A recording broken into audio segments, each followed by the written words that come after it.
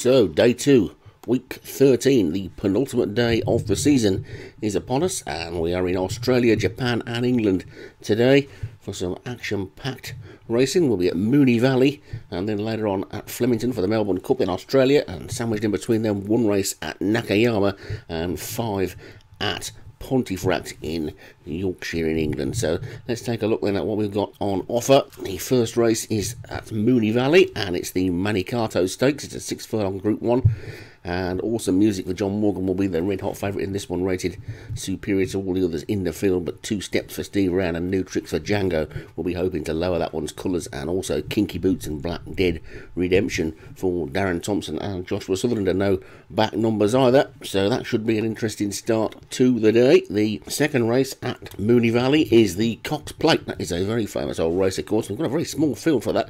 There's only about eight or nine of them in it. It's a 10 furlong Group 1 and favourite son for Django looks head and shoulders above all the others, to be honest. But Lady Jane Felsham for Paul Road has been a little bit in and out this season. Won a couple of Group Ones though, and could easily take this made to be broken for Joshua Sutherland.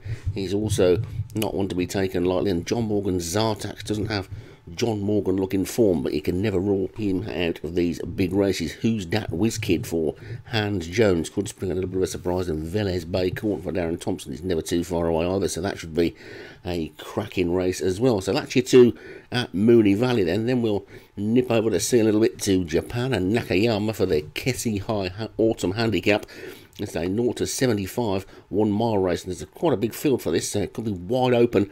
Uh, the top rated one there, Spanish Steps and Yvonne Elliman are both rated on 72. I don't think Yvonne Elliman's got much chance though because she's a firm ground horse and the going is on the soft side. Born on Venus for Alex Cherry looks like it could give him a big win with two thirds and a win in its last three runs. And there's quite a few in there with chances. It's a wide open race and you could run that race half a dozen times you'd probably get half a dozen different winners and you wouldn't really rule anything out of a chance of winning that. So just the one race in Japan, then at Nakayama, then we're off to Pontefract in Yorkshire, where the racing always used to start at 2.45. I've probably told you this story before, but it used to be a big coal mine next to the um, next to the racecourse, and the shift used to finish at 2 o'clock, so they gave them 45 minutes to get cleaned up, get all the coal dust off, and get themselves into some decent attire, and then they'd go straight to their races, and the first race would always be 2 45. Sadly, that doesn't happen anymore, but it's probably got more to do with coal mines closing down than race planning. Anyway, enough of the party political broadcasting. Let's get on with the races. The first one at Pontefract is the Win Big with the Tote Jackpot Nursery a 0 to 85 7 furlong race and some really good looking horses in this. You look at the top ones there, the top three are all rated 70, and that's the top weight in this. So it might be a 0 to 85, but 70 is the top rated horse in the race, and three of them have got pretty good forms. Alano Fire's won twice in its last four races. Misfortune was a winner last time out, and Broken Dream was a winner last time out as well. So Alex Cherry, Hans Jones, and David Robertson will all be hoping for a win there, but there's plenty just underneath who um, have got pretty decent looking forwards. Our Little Wing's been going close and they'll get a decent £3. Blue Play for Ch- Serious Chill will get £4 and you can't rule that one out either. So that looks like it's going to be a really interesting and competitive start to the five races from Pontefract. And the second one is the Mobile Silver Tankard Nursery, again for two year olds, of course. This is a 10 furlong event this time, on a slightly bigger field. 0 to 100 and Cheeky Monkey and Treco Bay are both rated 96. Decent looking form, but Fiddles for Hans Jones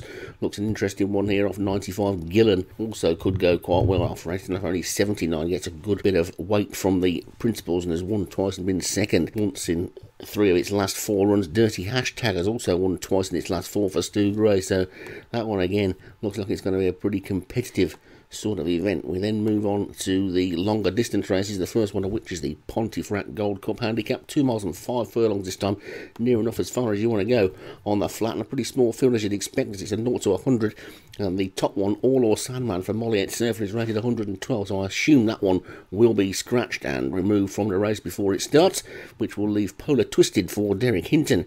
That's the top one with Mr. Ed for Graham Clutterbuck. Warrior one for Serious Chill. Also in there with some chances, but Stu Gray's Keys, who comes back year after year and keeps winning these decent races, couldn't be ruled out. And Darren Howells, who's a bit of a king of the stars, has got King's Cariosa, so he wouldn't rule that one out either. But it'll be interesting to see if the stewards notice that All or Sandman shouldn't be in that race, uh, whether it has to get declared void or not. Then we've got the Bluff Cove Handicap, which is a two mile, so a two mile 0 to 85, so a little bit shorter. This time we've got again a lot of horses that race against each other week in, week out, and We've got some good dual winners as well. The Smoking Man for Graham Constable just about scrapes in on 85, but Constable has won two of its last four for Carl Arroganti, and the decent nine pound swing should give that one a bit of a chance, although the going might not be in that one's favour. Custom made for Mazad Mystery has been third, second, and first in its last three runs, and it's been a real good breakthrough season for Mazad. He's had some good winners, and he'll be hoping to go out with another one there, getting £12 from the top one. Bridesmaid also won twice this season. Last time out was a little disappointing, only come in ninth,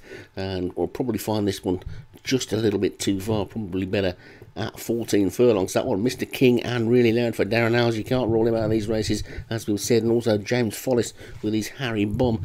Also will be going close as well. And also in there, you've got Geo Storm for Stu Gray and Breakpoint for Graham Clutterbuck, who do particularly well in these races. The totepool.com handicap is the next race, and that's a one mile five furlongs this time. So just dropping down in distance a little bit more again there. This is another 0 to 85, and we've got an 85 rating in it. Indian Chief for Darren Howes, but big shot bang for Hans Jones. Has got some pretty good form 2 1 3 last time, last three races, and Big Jim McLean 3 5 2 1. Talk of the Town 6 2 4 1. So there's some pretty good form in there, and you look down towards the middle of the card, and Stu Gray's got Bop It. That one pops up and wins every now and again as well, so you wouldn't rule that one out. Pretty big field for that one, though, so there might be one or two hard luck stories on the turns. Then we'll be back across the other side of the world again to Australia for Melbourne Cup Day from Flemington.